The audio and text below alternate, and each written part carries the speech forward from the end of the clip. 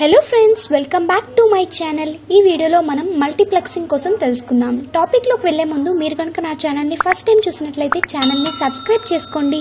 వీడియోస్ని లైక్ చేయండి షేర్ చేయండి. సో టాపిక్ ఏంటంటే మల్టీప్లెక్సింగ్ ఈ మల్టీప్లెక్సింగ్ టెక్నిక్ అనేది ఎలా యూస్ చేస్తున్నామంటే మల్టిపుల్ డేటా స్ట్రీమ్స్ అన్నిటిని కంబైన్ చేసి ఒక సింగిల్ మీడియం ద్వారా దాన్ని సెండ్ చేస్తున్నాం.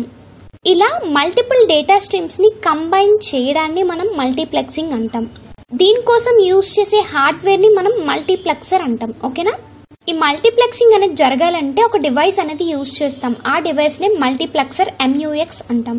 ఇది ఏం చేస్తుందంటే ఎన్ ఇన్పుట్ లైన్స్ని కంబైన్ చేసి ఒక సింగిల్ అవుట్పుట్ లైన్ని జనరేట్ చేస్తుంది. మల్టీప్లెక్సింగ్ అనేది ఇక్కడ ఏ రూల్ ఫాలో అవుతుందంటే మెనీ తీసుకొని వన్ అవుట్పుట్ వస్తుంది కాబట్టి మెనీ టు వన్ అని చెప్పొచ్చు. ఎన్ ఇన్పుట్స్ లైన్ తీసుకుంటుంది ఒకే అవుట్పుట్ లైన్ అనేది జనరేట్ అవుతుంది. నెక్స్ట్ డీమల్టీప్లెక్సింగ్ ఈ డీమల్టీప్లెక్సింగ్ అనేది ఏంటంటే ఇదొక డివైస్ ఈ దీన్ని మనం దేనికి యూజ్ చేస్తాం? ఈ డీమల్టీప్లెక్ ఈ డీమల్టీప్లెక్సింగ్ని అచీవ్ చేయాలంటే ఒక డివైస్ ఇవ్వ. ఒక డివైస్ని వాడతాం. ఆ డివైస్ డీమల్టీప్లెక్సర్ డిఈఎంయుఎక్స్ అంటాం. ఇది ఎక్కడ ఉంటుందంటే రిసీవింగ్ ఎండ్ దగ్గర ఉంటుందన్నమాట. ఈ డీమల్టీప్లెక్సర్ ఏం చేస్తుందంటే సిగ్నల్స్ని సపరేట్ చేస్తుంది. ఒక సింగిల్ సిగ్నల్ని తీసుకొని కొన్ని కాంపనెంట్స్ కింద సపరేట్ చేస్తుంది. అంటే మల్టీప్లెక్సింగ్కి ఆపోజిట్గా చేస్తుంది. వన్ ఇన్పుట్ని తీసుకొని ఎన్ అవుట్ ఎన్ అవుట్పుట్స్ కింద కన్వర్ట్ చేస్తుంది. సో ఇక్కడ డీమల్టీప్లెక్సింగ్ అనేది ఏ అప్రోచ్ యూస్ చేస్తుందంటే వన్ టు మెనీ అప్రోచ్ని యూస్ చేస్తుంది. అసలు మల్టీప్లెక్సింగ్ అనేది దేనికోసం వాడుతున్నామంటే ఒక ట్రాన్స్మిషన్ మీడియం ఉందనుకోండి. అది దేనికి యూస్ చేస్తామంటే ఒక సిగ్నల్ని సెండర్ నుంచి రిసీవర్కి పంపించడానికి యూస్ చేస్తాం. సో ఇక్కడ మీడియం కి ఓన్లీ ఒక సిగ్నల్ మాత్రమే ఒక పర్టికులర్ టైంలో ఒక సిగ్నల్ మాత్రమే పంపిస్తుంది. ఒకవేళ మల్టిపుల్ సిగ్నల్స్ ఉన్నాయనుకోండి అదే ఒకే మీడియంలో పంపించాలనుకోండి సో అది కష్టం అవుతుంది అందుకని మనం మల్టిపుల్ సిగ్నల్స్ని ఒకే మీడియం ద్వారా పంపించడానికి అని చెప్పేసి మల్టీప్లెక్సింగ్ని వాడతాం. అదే మనకి ఎక్కువ సిగ్నల్స్ ఉన్నాయి ఆ సిగ్నల్స్ని ఒకే మీడియం ద్వారా పంపించాలి. అలాంటప్పుడు మీడియం అనేది మనం డివైడ్ చేయడం అవ్వదు. సో అలా డివైడ్ చేయాలంటే మనకి ఏంటి? సేమ్ పోర్షన్స్ కింద డివైడ్ చేయాలంటే బ్యాండ్ విత్ అనేది ఉంటుంది. దాన్ని బట్టి డివైడ్ చేయడం ఇదంతా చాలా పెద్ద ప్రాసెస్ అవుతుంది. సో అందుకని చెప్పి మనం మల్టీప్లెక్స్ అని వాడుతున్నాం.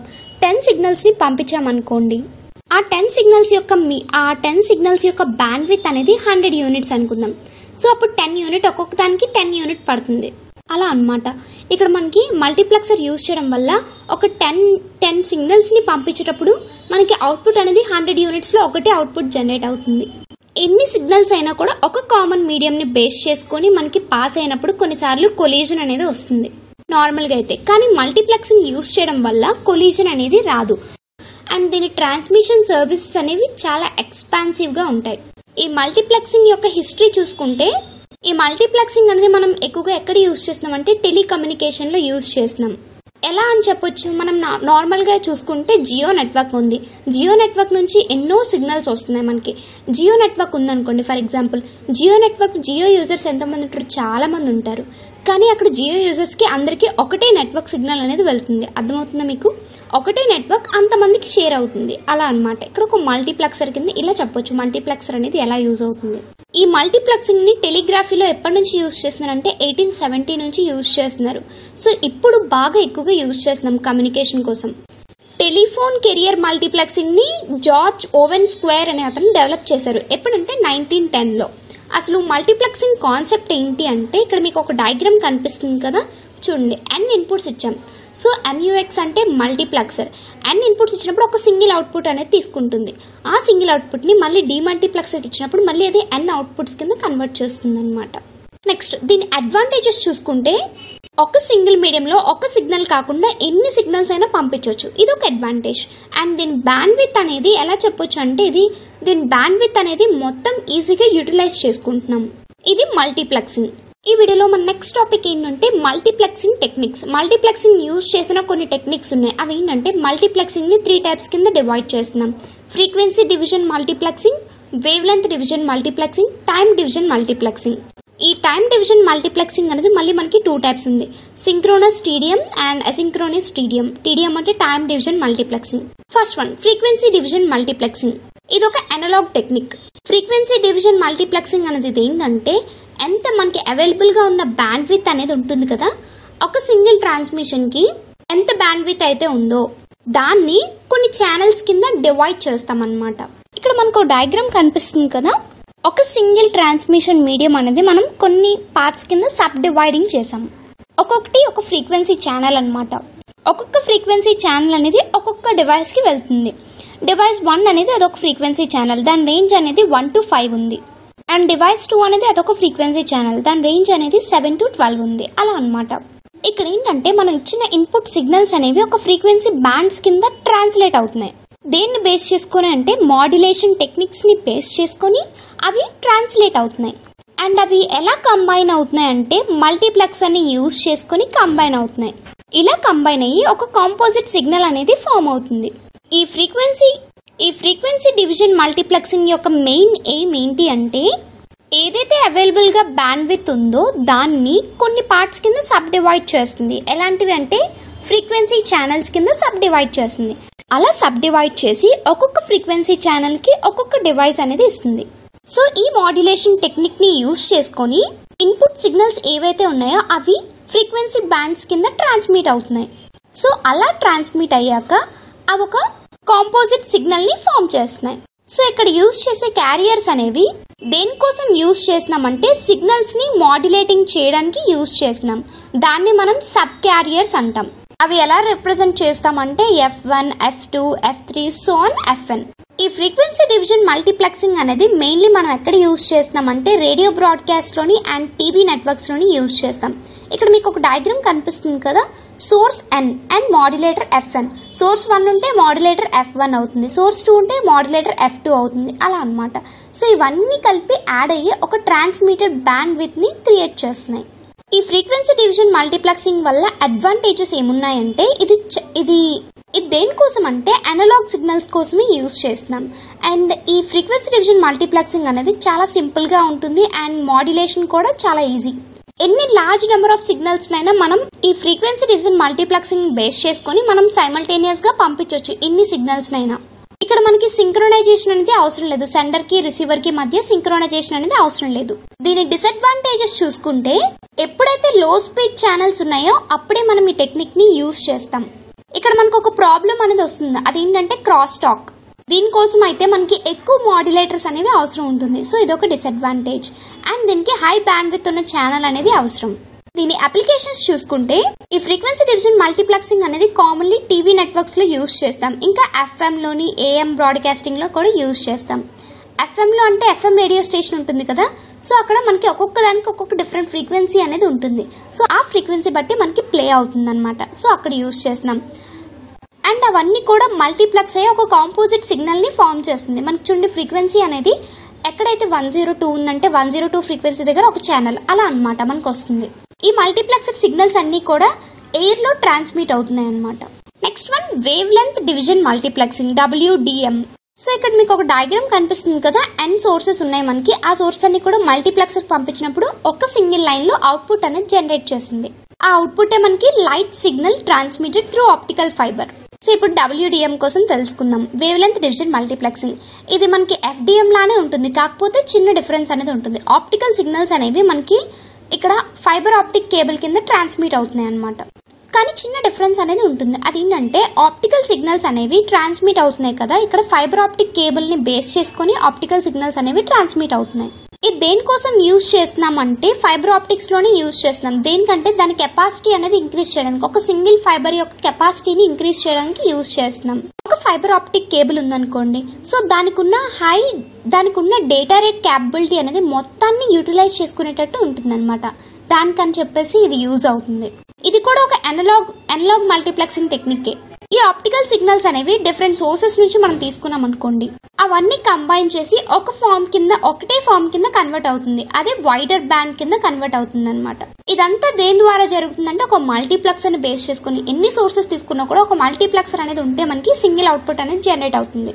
రిసీవర్ అండ్ దగ్గరకు వచ్చినప్పటికి కూడా అక్కడ మనకి డి మల్టీప్లెక్సర్ ఖచ్చితంగా అవుతుంది అనమాట మల్టీప్లెక్సర్లో ఎలాంటి సోర్సెస్ తీసుకున్నా కూడా ఒక సింగిల్ అవుట్పుట్ వచ్చాక మళ్ళీ ఆ సింగిల్ అవుట్పుట్ అనేది ఆ సింగిల్ అవుట్పుట్ అనేది డి మల్టీప్లెక్సర్కి వెళ్ళినప్పుడు మళ్ళీ అది డిఫరెంట్ అవుట్పుట్స్ కింద కన్వర్ట్ చేసేస్తుంది.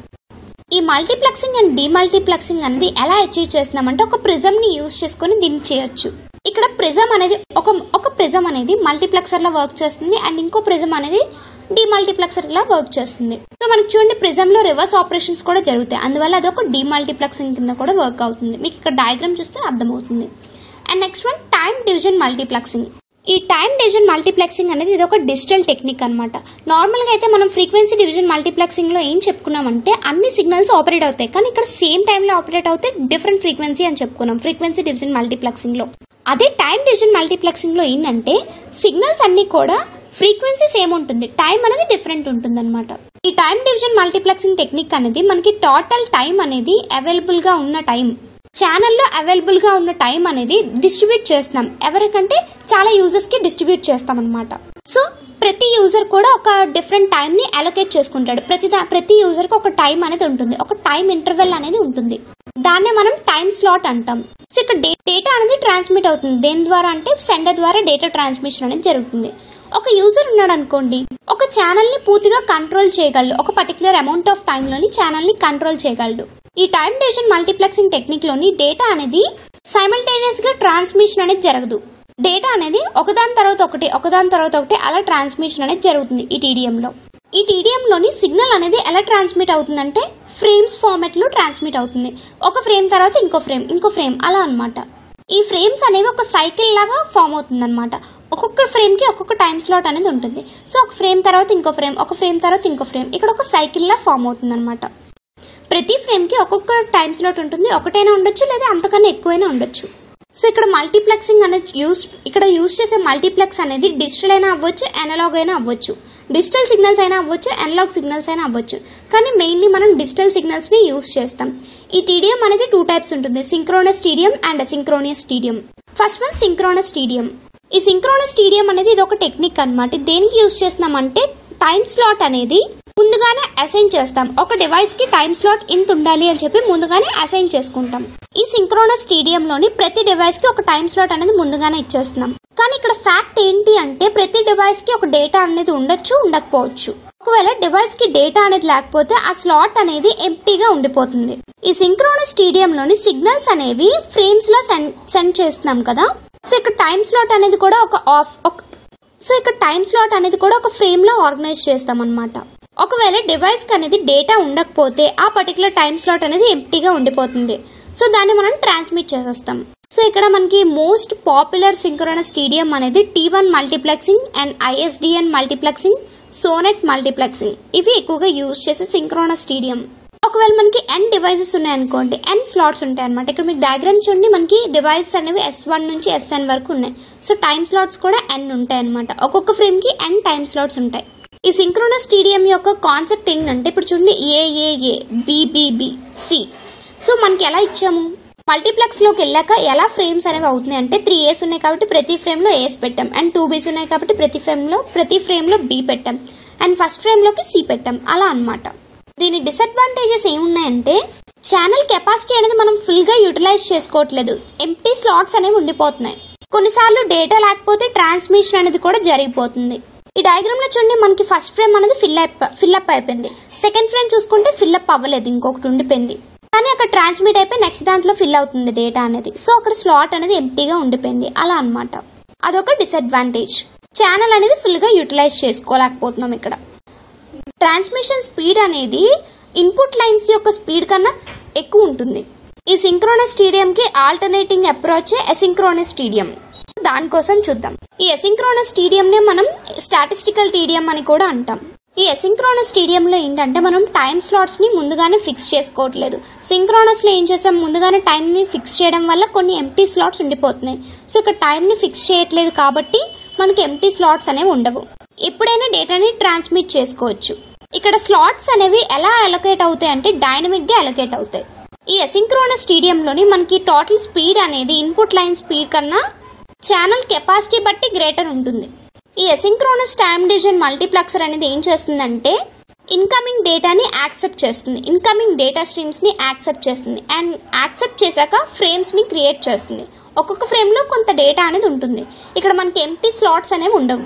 ఈ అసింక్రోనస్ స్టేడియంలోని ప్రతి స్లాట్లో కూడా అడ్రస్ అనేది ఉంటుందన్నమాట. సో అడ్రస్ దేనికంటే సోర్స్ అనేది ఐడెంటిఫై చేయడానికి. అసింక్రోనస్ స్టేడియం కి సింక్రోనస్ స్టేడియం కి మెయిన్ డిఫరెన్స్ అనేది ఏంటంటే టీడీఎం ని బాగా యూటిలైజ్ చేసుకుంటున్నాం. అండ్ ముందుగానే టైంని యూటిలై టైంని ఫిక్స్ చేయట్లేదు కాబట్టి ఇక్కడ మనకి టైం అనేది మనకి ఈజీగా ఇక్కడ మనం ముందుగానే స్లాట్స్ని ఫిక్స్ చేయట్లేదు కాబట్టి మొత్తం అన్ని స్లాట్స్ని యూటిలైజ్ చేసుకుంటాం. ఇక్కడ మీకు డయాగ్రామ్ కనిపిస్తుంది కదా సో ఏబిసిడి ఇచ్చాం. డేటా అనేది ఎలా సేవ్ అవుతుంది? ఏసీ ఏసీ అలా సేవ్ అవుతూ వస్తుంది. అంటే ఫ్రేమ్స్ కింద ఉన్నా కూడా మనకి డేటా అనేది మొత్తం యూటిలైజ్ అవుతుంది.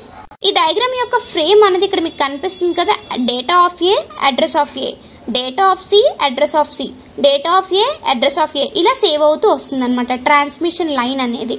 ఇవన్నీ కూడా మల్టీప్లెక్సింగ్ టెక్నిక్స్ ఈ వీడియోలో మనం మొత్తం మల్టీప్లెక్సింగ్ కాన్సెప్ట్ అనేది డిస్కస్ చేసాం thanks for watching friends please subscribe my channel and please support me thank you very much